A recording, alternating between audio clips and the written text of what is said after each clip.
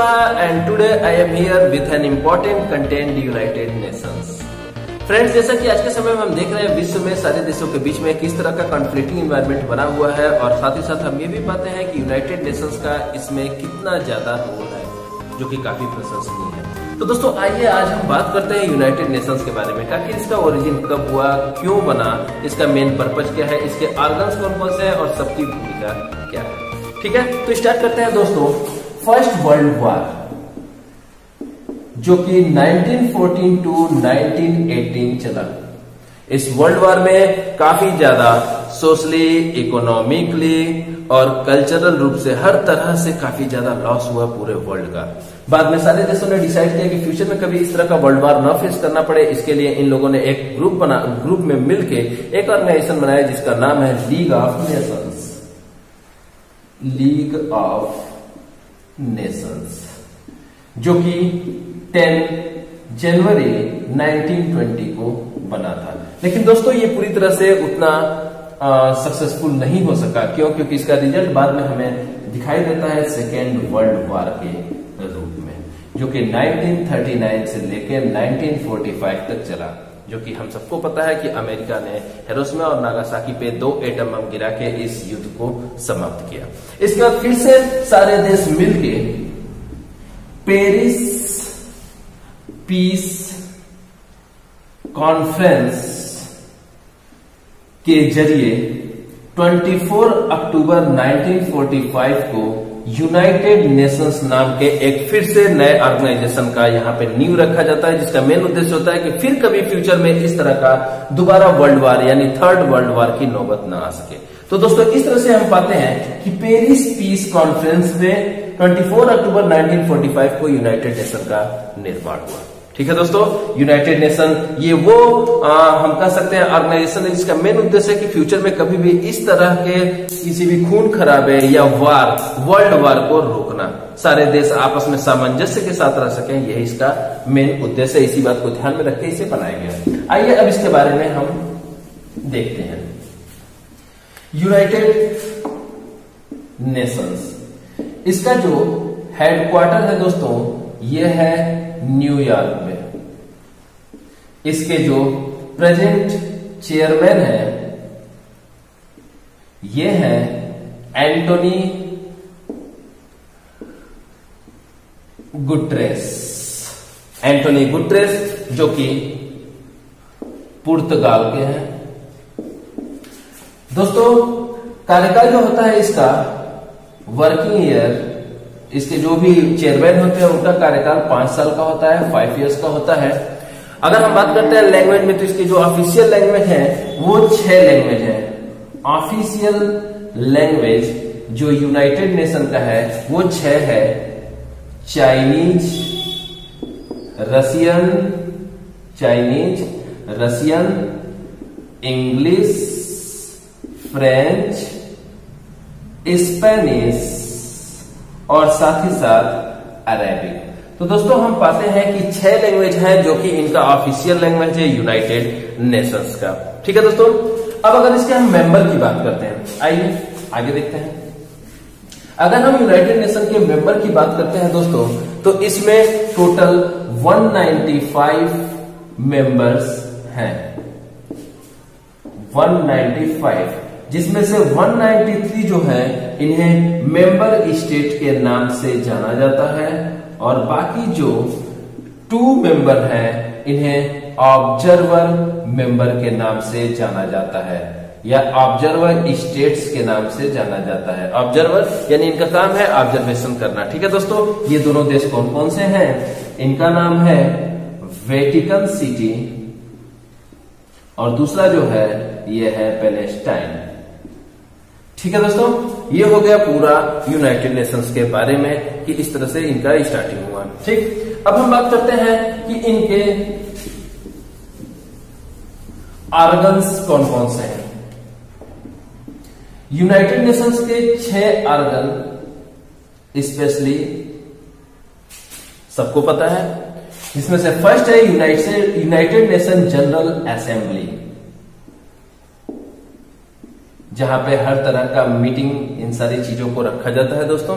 Second second number पे आता है यूनाइटेड नेशन सिक्योरिटी काउंसिल जिन्हें यूएनएससी के नाम से जाना जाता है, जो काफ़ी इंपॉर्टेंट है। थर्ड नंबर पे आता है, दोस्तों आईसीजे जिसे बोलते हैं इंटरनेशनल कोर्ट ऑफ़ जस्टिस यहाँ पे पूरे वर्ल्ड का ये कोर्ट माना जाता है। फोर्थ फोर्थ नंबर पे आता है इकोसोक जिसे बोलते हैं, यानी Economic and Social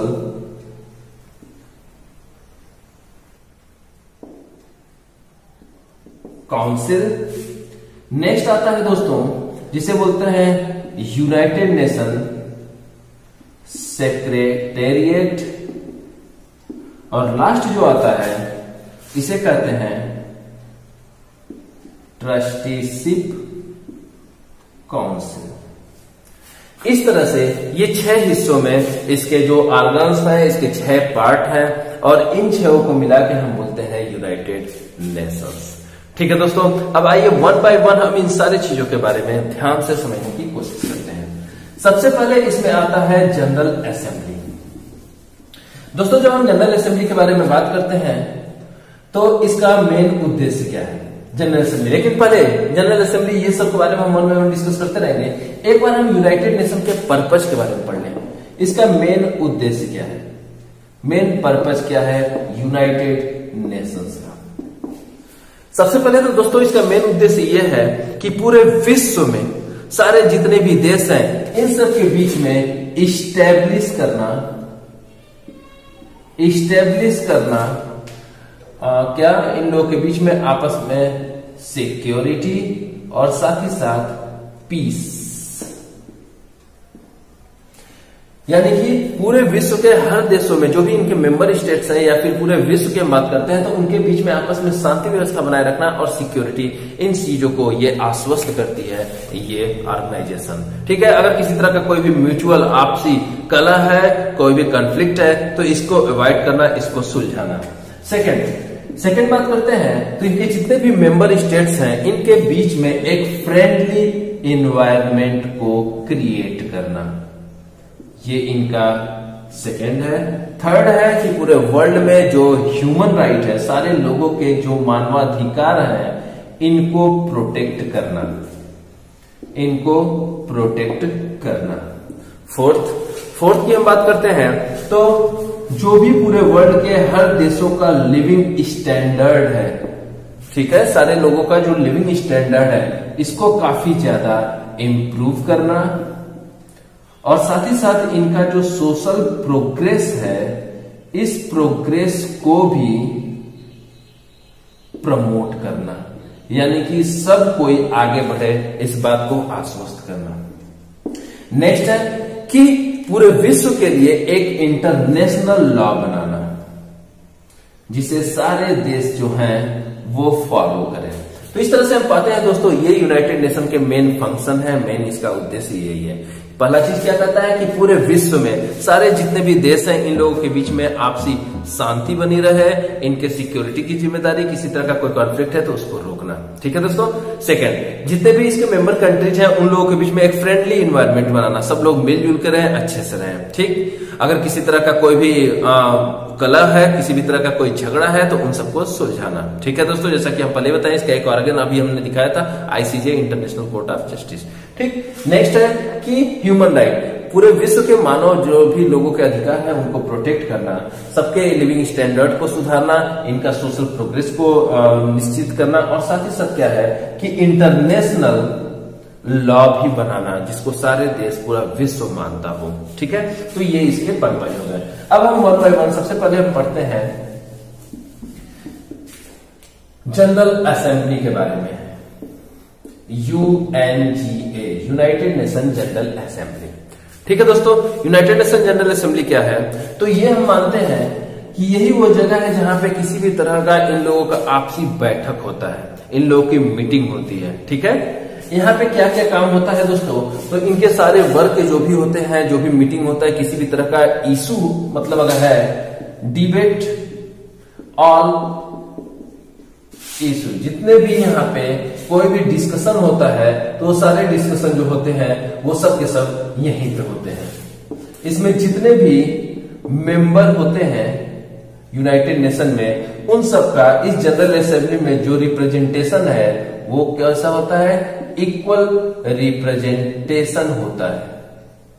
ठीक है दोस्तों फिर से आप देख लीजिए। ये एक तरह का जैसे हमारे यहाँ पार्लियामेंट होता है उसी तरह का इन लोगों का क्या अपना पार्लियामेंट है। यहीं पे सारे बैठक होते हैं। किसी भी तरह का कोई भी अगर डिबेट चलता है डिस्कशन चलता है तो वो सब कुछ यही होता है। इन सब के अलावा जितने भी मेंबर्स इसमें है 193, 195 इन सब का क्या होता है? इक्वल रिप्रेजेंटेशन होता है। सभी लोग आपस में क्या होते हैं? बराबर होते हैं। ठीक है दोस्तों इसके बाद, यहाँ पे जो यूएन का बजट होता है, उस बजट के बारे में भी यहीं पे डिस्कशन किया जाता है। यानी जब भी हम बात करते हैं कि यूनाइटेड नेशन का, उसका भी तो कुछ अपना बजट होता होगा तो इन सब के बारे में भी हम यहीं पे क्लियरिफाई करते हैं, यहीं पे सारा कुछ डिस्कशन करते हैं। नेक्स्ट है, कोई भी नया अगर नीति बनाना हो प्रोग्राम और पॉलिसी बनाना हो तो ये सब कुछ भी कहा डिसाइड होता है? यहीं पे डिसाइड होता है। कहाँ पे? यूनाइटेड नेशन जनरल असेंबली में। साथ ही साथ दोस्तों, अगर हम बात करते हैं, किसी भी अगर नए मेंबर कंट्री को शामिल करना हो, किसी भी न्यू मेंबर नेशन को अगर इसमें शामिल करना हो तो ये अपॉइंट करने का या अपॉइंटमेंट वाला जो काम होता है, वो भी कहा होता है? इस यूएनजीए में ही होता है। साथ ही साथ दोस्तों, एक आता है यूनाइटेड नेशन सिक्योरिटी काउंसिल जो कि हम आगे पढ़ेंगे। इसमें टोटल पंद्रह मेंबर होते हैं। उनमें से पाँच तो परमानेंट होते हैं, लेकिन बाकी जो टेन नॉन परमानेंट होते हैं, उनकी भी नियुक्ति जो होती है, यही UNGA United Nation General Assembly में ही क्लियर की जाती है कि ये दस जो नॉन परमानेंट है, इनकी नियुक्ति यही इसी मीटिंग में की जाती है। ठीक है दोस्तों? और सबसे जो लास्ट पॉइंट आता है, वो लास्ट पॉइंट ये है कि हर साल ईच ईयर जो एनुअल सेशन होता है जो एनुअल सेशन होता है, हर साल का जो इन लोगों का अपना मीटिंग होता है, वो सितंबर से लेके दिसंबर के बीच में यहाँ पे मीटिंग रखी जाती है। कहा? जो इसका हेड क्वार्टर है न्यूयॉर्क यहाँ पे हर साल जो है मीटिंग रखी जाती है। मेन उद्देश्य क्या है? कि जो भी एनुअल सेशन है, किसी भी तरह का पूरे साल भर का जो भी डिस्कशन करना होता है तो यहाँ पे की जाती है। ठीक है दोस्तों तो इस तरह से हमने देखा यूनाइटेड नेशन जनरल असेंबली जो है काफ़ी इंपॉर्टेंट है, इसकी भूमिका क्या क्या है नेक्स्ट नेक्स्ट अब हम बात करेंगे यूएनएससी जो सेकेंड है UNSC United Nation Security Council दोस्तों, जैसा कि नाम से पता है सिक्योरिटी काउंसिल इसका पहला सिर्फ़ और सिर्फ़ यही उद्देश्य है कि पूरे वर्ल्ड में शांति व्यवस्था को बनाए रखना पीस को मेंटेन करना। अगर ज़रूरत पड़े तो ये क्या कर सकती है? मिलिट्री एक्शन को भी इनवाइट कर सकती है। यानी मिलिट्री एक्शन भी कर सकती है। कोई भी देश अगर किसी कमज़ोर देश के ऊपर क्या ज़बरदस्ती या किसी भी तरह से अनौपचारिक मतलब जो कि सही ना हो इलीगल रूप से अगर आक्रमण करता है या फिर किसी भी तरह के संधि को मानने से इनकार करता है तो ऐसे सिचुएशन में ये मिलिट्री एक्शन का भी सहारा ले सकते हैं। दोस्तों, अगर हम बात करते हैं इसके मेंबर्स की तो टोटल इसमें 15 मेंबर्स होते हैं। इन 15 मेंबर्स में से पाँच जो मेंबर हैं, ये परमानेंट होते हैं। ये परमानेंट है, ये कभी चेंज नहीं होंगे, ये परमानेंट बहुत ही इंपॉर्टेंट है दोस्तों। अक्सर एग्जामिनेशन में पूछा जाता है, ये परमानेंट मेंबर कौन कौन से हैं? China Russia UK USA and France. ये पाँच इसमें परमानेंट है और बाकी जो दस मेंबर होते हैं, ये हर दो साल के लिए वन बाय वन चेंज कर करके चुने जाते हैं। ये दो साल के लिए होते हैं। ठीक है दोस्तों? और सबसे इंपॉर्टेंट ये होता है कि इन पाँच जो परमानेंट हैं, इनके पास एक स्पेशल पावर होता है जिसका नाम है वीटो दोस्तों वीटो वो पावर होता है जिसके थ्रू अगर कभी भी यूएनजीए में या फिर यूनाइटेड नेशन में किसी तरह का कोई रिजोल्यूशन अगर पास किया जा रहा है, और अगर सारे देशों की सहमति, इन चार, बाकी पाँच परमानेंट में से अगर चार परमानेंट मेंबर्स की अगर रिजोल्यूशन में यहाँ पे स्वीकृति है, लेकिन अगर कोई भी एक देश अगर वीटो पावर यूज़ करता है तो इसका मतलब है कि वो इसको डिनाई कर रहा है, इसका प्रोटेस्ट कर रहा है। और ऐसे सिचुएशन में भले ही चारों देश इनके सहमत मतलब ये इस रिजोल्यूशन के पक्ष में है, लेकिन एक देश के वीटो करने से सारे रिजोल्यूशन को वहीं पे स्टॉप कर दिया जाएगा। ये एक बहुत ही बड़ा पावर है वीटो पावर और अक्सर इस पावर को चाइना जो है इंडिया के खिलाफ कई बार यूज़ कर चुका है। ठीक है दोस्तों? तो ये है यूनाइटेड नेशन सिक्योरिटी के बारे में। यूनाइटेड नेशन सिक्योरिटी काउंसिल माना जाता है यूनाइटेड नेशन का सबसे इंपॉर्टेंट अंग है, क्योंकि पूरे विश्व में अगर शांति व्यवस्था की बात करते हैं तो वो कौन बनाता है? वो और कोई नहीं बनाता, बल्कि यही यूनाइटेड नेशन सिक्योरिटी काउंसिल ही बनाता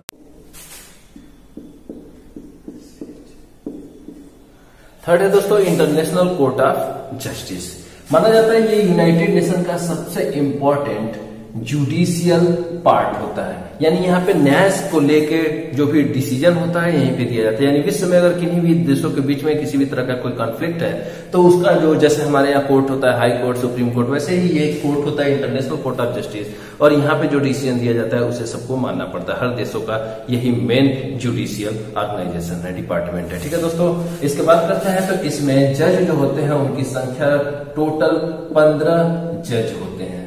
कितने जज होते हैं दोस्तों? पंद्रह। ठीक है? और इनकी नियुक्ति कहाँ होती है? इनकी नियुक्ति दोनों मिलकर करते हैं, जिनके बारे में अभी अभी हमने हाल ही में पढ़ा है। वो दोनों कौन कौन से हैं? General Assembly and UNSC United Nation Security Council. ये दोनों लोग मिलके इन पंद्रह जजों की नियुक्ति करते हैं। फिर से ध्यान से देखिए दोस्तों, इसमें टोटल जजों की संख्या कितनी होती है? फिफ्टीन और इन पंद्रह जज की नियुक्ति कौन करता है? ये जनरल असेंबली और यूएनएससी ये लोग मिलकर करते हैं। इसका जो हेड क्वार्टर है इंटरनेशनल कोर्ट ऑफ़ जस्टिस की बात करते हैं, इसका हेड क्वार्टर जो है, वो है Hague Netherland Netherland Hague Netherland के हेग नामक शहर में ये ICJ International Court of Justice का हेडक्वार्टर है। ठीक है दोस्तों, फिर से एक बार ध्यान से देख लें, इसका हेडक्वार्टर हेग नीदरलैंड में है। ये यूनाइटेड नेशन का सबसे इंपॉर्टेंट जुडिशियल पार्ट है। इसमें पंद्रह जज होते हैं और इनकी नियुक्ति कौन करता है? जनरल असेंबली और यूएनएससी ये लोग आपस में मिलकर तय करते हैं। नेक्स्ट फोर्थ के बारे में हम बात करते हैं।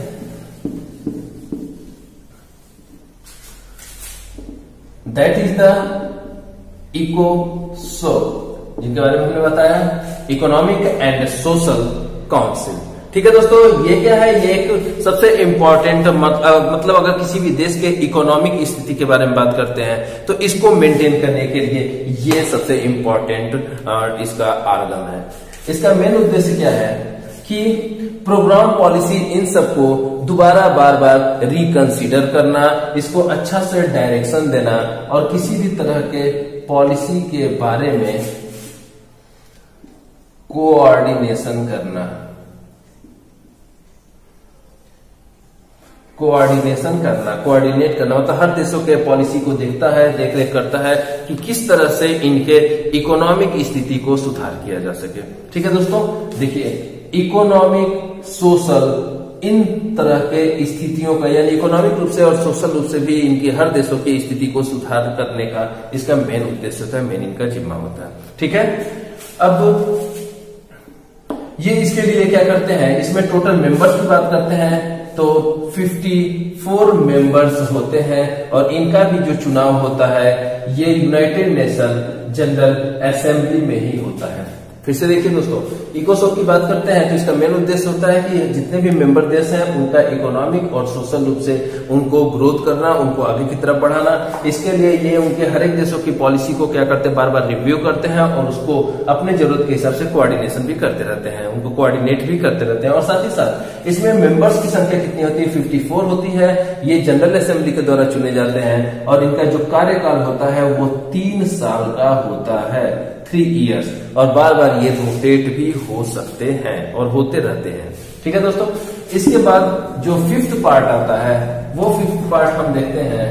इसे बोलते हैं यूएन सेक्रेटरिएट यूएन सेक्रेटेरिएट ये बहुत ही इंपॉर्टेंट पार्ट है। ठीक है दोस्तों? यूएन सेक्रेटेरिएट की बात करते हैं तो इसे बोला जाता है कि ये executive executive arm of the United Nation इसे बोला जाता है। ठीक है दोस्तों? यानी कि ये सबसे इंपॉर्टेंट हिस्सा है, ये एग्जीक्यूटिव का मतलब कार्य मतलब कार्यवाही जो भी होता है, जो भी कार्य किया जाता है, उसका मेन जो आर्म है मेन हिस्सा यही है। यानी कि डिसीज़न मेकिंग का सबसे इंपॉर्टेंट काम इसी डिपार्टमेंट का होता है। कोई भी डिसीज़न अगर लिया जाता है तो उसमें सबसे इंपॉर्टेंट भूमिका किसकी होती है? सेक्रेटेरिएट की होती है इसमें जो इनके हेड होते हैं, उन्हें बोलते हैं सेक्रेटरी जनरल सेक्रेटरी जनरल ठीक है दोस्तों? इनको कहाँ पे चुना जाता है? जनरल असेंबली में ही चुना जाता है। इनका कार्यकाल कितना होता है? पाँच साल होता है और यही सबसे इंपॉर्टेंट होते हैं पूरे यूनाइटेड नेशंस के लिए। जो कि हम पहले ही बता चुके हैं, वो इस समय कौन है? वो है पुर्तगाल के एंटोनी गुट्रेस एंटोनी गुट्रेस जो कि पुर्तगाल के हैं, और इस समय यही यहाँ के एग्जीक्यूटिव मतलब ये secretary general of the United Nation है, या कह सकते हैं कि ये यूनाइटेड नेशन का सबसे इंपॉर्टेंट एग्जीक्यूटिव आर्म माना जाता है। ठीक है दोस्तों? यानी कि किसी भी तरह का अगर कोई भी डिसीज़न लिया जाता है तो डिसीज़न के लिए सबसे इंपॉर्टेंट जैसे हमारे यहाँ पार्लियामेंट होता है पार्लियामेंट में डिस्कशन होता है, सब कुछ होता है, और फाइनल डिसीज़न लेने के लिए क्या प्रेसिडेंट के सिग्नेचर की ज़रूरत पड़ती है। उसी तरह से सेम इसमें मेन जो होते हैं डिसीज़न मेकिंग की भूमिका इन्हीं की होती है। अब हम लास्ट की बात करते हैं, और वो है ट्रस्टी सिप काउंसिल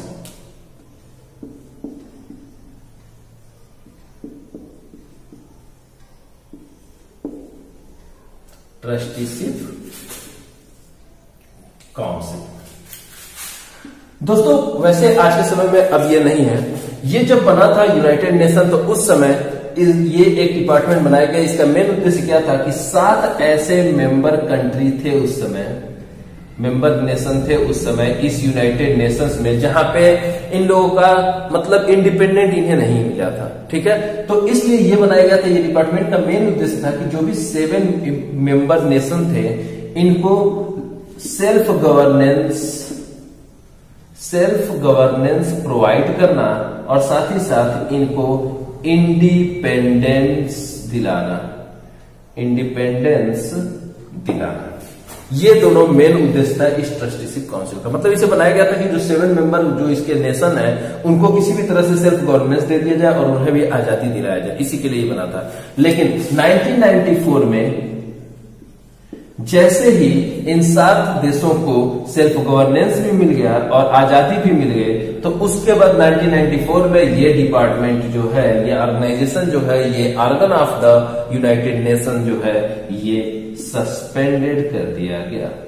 क्यों? क्योंकि अब इसका काम जो है, वो पूरा हो चुका था। इसलिए इसे समाप्त कर दिया गया। तो इस तरह से अगर आज के समय में हम बात करते हैं इंपॉर्टेंट रूप से यूनाइटेड नेशन के कितने पार्ट है तो हम बोलेंगे पाँच।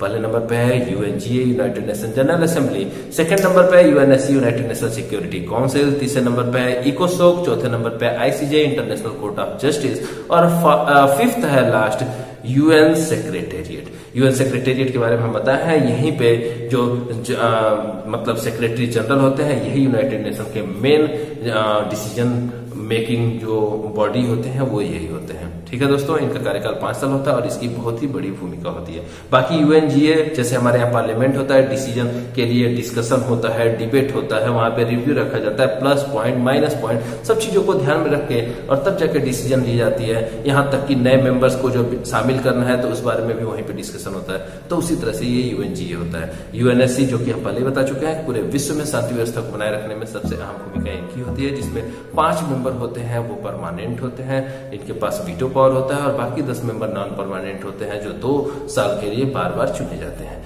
और बाद में आता है कौन? ICJ International Court of Justice अगर पूरे विश्व में कहीं भी दो देशों के बीच में कोई कंफ्लिक्ट है म्यूचुअल मिसअंडरस्टैंडिंग है तो इस बात के लिए वहाँ पे जब भी ये लोग आते हैं तो जुडिशियल मामले में इन लोगों को कोर्ट में आना पड़ता है और उस कोर्ट का नाम है इंटरनेशनल कोर्ट ऑफ़ जस्टिस जिसकी जो भी फैसला यहाँ पे दी जाती है, उनको सबको मानना अनिवार्य होता है। इसके मेंबर कितने होते हैं? जज जो होते हैं, पंद्रह होते हैं, जिनका सिलेक्शन कहाँ पे किया जाता है? यूएनजीए जनरल असेंबली और यूएनएससी के द्वारा इनको चुना जाता है। ठीक है दोस्तों, इस तरह से हमने देखा कि ये यूनाइटेड नेशन का पूरा इसके बारे में सब कुछ हम पढ़ चुके हैं, कुछ भी यहाँ पे बचा नहीं है। और ए टू जेड हमें उम्मीद है कि आप लोगों को यूनाइटेड नेशन के बारे में समझने में काफ़ी ज़्यादा आसानी हुई होगी। दोस्तों, जैसा भी हो, आप हमारे इस वीडियो को लाइक करें शेयर करें और कमेंट भी ज़रूर करें। अगर किसी तरह का कोई प्रॉब्लम है या किसी तरह के कुछ भी चीज़ों को समझने में कोई दिक्कत होती है तो आप हमें कमेंट में इसे भी ज़रूर कर सकते हैं। ठीक है दोस्तों? अगर आपने सब्सक्राइब नहीं किया हमारे चैनल को तो प्लीज़ इसे सब्सक्राइब करें और सामने बेल आइकन को भी ज़रूर दबाएँ, ताकि आगे आने वाले समय में हम आपके लिए और भी बेहतर अच्छे अच्छे वीडियो ला सकें, जो आपके लिए भविष्य में उपयोगी होगा और आपके प्रिपरेशन के लिए भी काफ़ी ज़्यादा इंपॉर्टेंट होगा। Thank you so much